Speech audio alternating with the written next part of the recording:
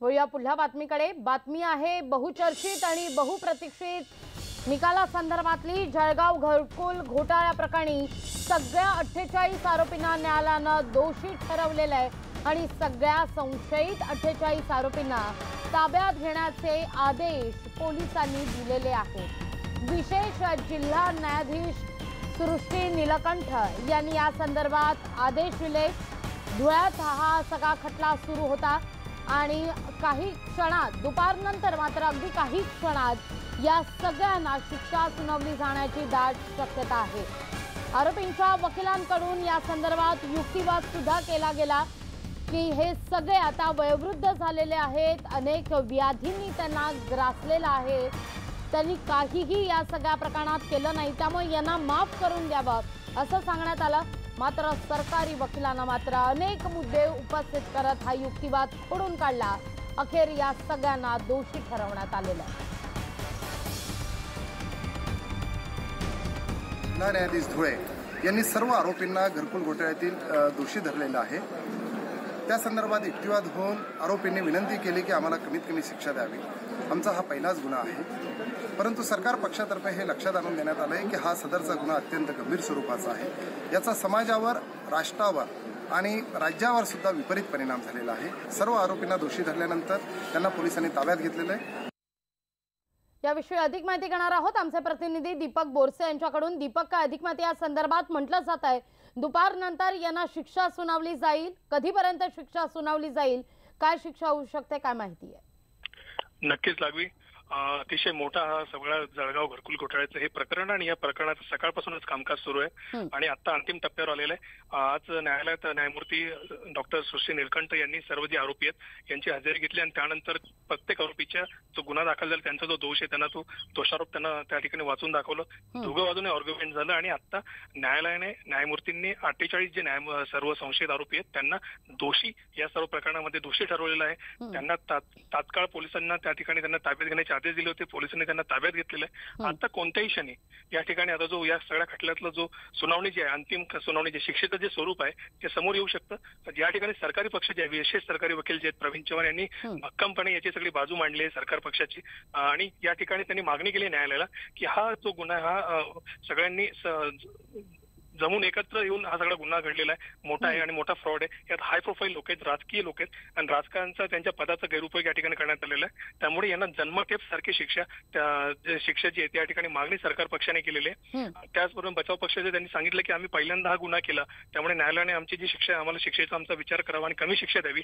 असं संशयितांचं म्हणणं होतं. मात्र न्यायालय नेमकी काय भूमिका घेते हे थोड्याच वेळात कळणार आहे. या ठिकाणी अर्धा एक साधारणतः एक अर्धा तासानंतर या संपूर्ण प्रक्रियेला पुन्हा नव्यानं सुरुवात होणार आहे आणि न्यायमूर्ती आल्यानंतर नेमके काय शिक्षा काय स्वरूप असणार आहे शिक्षेचं? काय सुनावणी होणार आहे? संपूर्ण राज्याचं या सगळ्या सुनावणीकडे लक्ष लागून आहे आता या क्षणी या ठिकाणी मोठ्या प्रमाणात कडक पोलीस बंदोबस्त आहे. मोठ्या प्रमाणात गर्दी देखील या ठिकाणी झालेली आहे. समर्थक असतील नातेवाईक असतील शुभचिंतक असतील हं. मात्र सगळे हे जे वातावरण आहे आता सगळं न्यायालय काय म्हणतं? याकडे सगळ्यांचे कान लागलेत. आणि नेमकी काय सुनावणी होती याकडे आता सगळ्यांचं लक्ष आहे. निश्चित दीपक धन्यवाद. तुम्ही दिलेला एकूणच या सविस्तर माहिती करता. यानंतर सुद्धा या क्षणाची महत्वाची बातमी आहे. दुर्दैवी घटना आहे. धुळे जिल्ह्यात शिरपूर जवळ वाघाड इथं केमिकल फॅक्टरी बॉयलर फुटल्यानं बॉयलरचा स्फोट झाल्यानं अकरा जणांचा दुर्दैवी अंत झालाय. तर पस्तीस जण जखमी झालेत. यातील दहा गंभीर जखमी आहेत. हा स्फोट इतका भीषण होता की त्यामुळे मात्र आसपासच्या गावांमध्ये हादरा बसलाय. तसंच या परिसरातील सगळी झाडं जळून खाक झाली आहेत. कंपनी देखील भस्मसात झाली आहे तर बाईक्स गाड्या सायकल सुद्धा या आगीत भस्मसात झाल्या स्फोट झाल्यानंतर त्यातून गॅसही लीक झाल्याची माहिती मिळते आहे. गावकऱ्यांनी बचाव कार्य लगेचच सुरू केलेलं आहे. मृतांच्या नातेवाईकांना पाच लाखांची राज्य सरकारनं मदत जाहीर केली.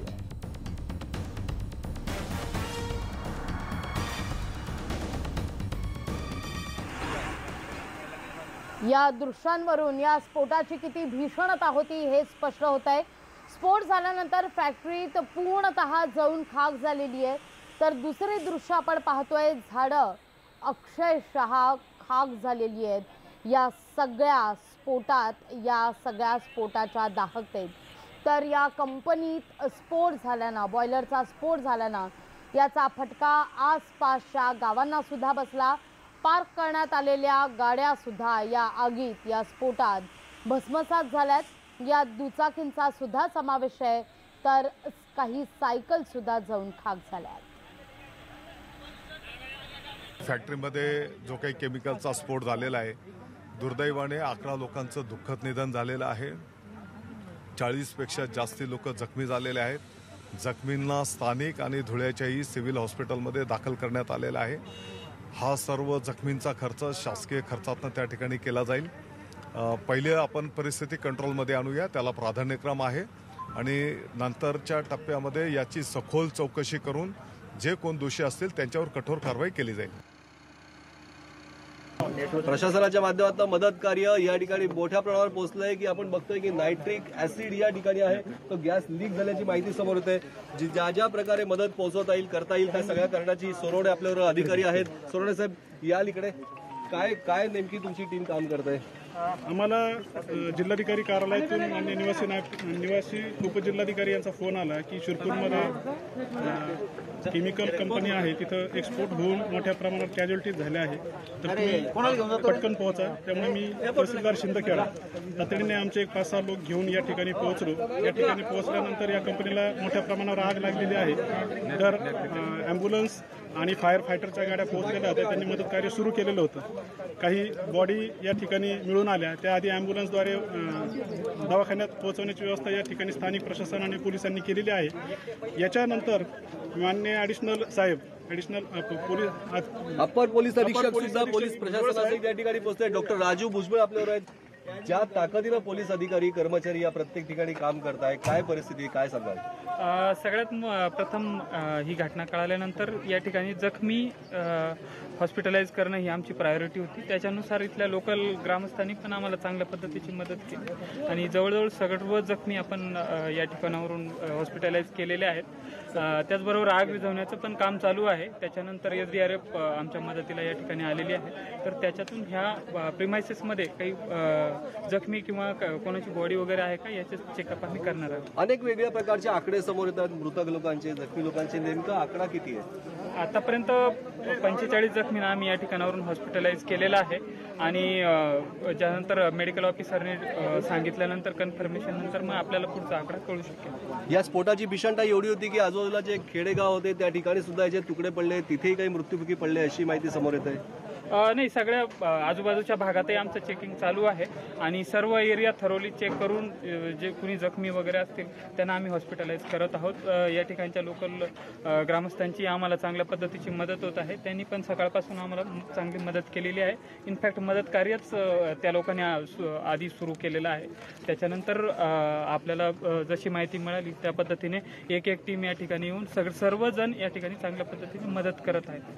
घटना घडल्यानंतर मदतीसाठी पोहोचणं सगळ्यात महत्वाचं होतं. हीच ती केमिकल फॅक्टरी गुजरातच्या आहेत. याचे मालक अशी माहिती आपल्याला समजते. खरं तर अत्यंत उद्ध्वस्त झालेली ही इमारत या ठिकाणी मदत कार्य करायला सगळेच पोचले आणि त्याच कामगारांना इथे जीव गमवावा लागला की ज्या ठिकाणी ते जीव लावून काम करत होते. एकंदरीत परिस्थिती आता नियंत्रणात आहे असं जरी सांगितलं जात असलं तरी नायट्रिक ऍसिड गॅस या ठिकाणी बॉयलरमध्ये आहे आणि हाच गॅस अत्यंत घातक असतो.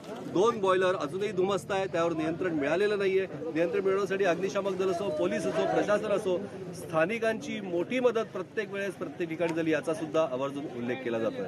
व्हिडिओ जर्नलिस्ट हेमंत बाबूचा प्रशांत बाग न्यूज एटीन लोकमत वाघाडी शिरपूर धुळे. इतके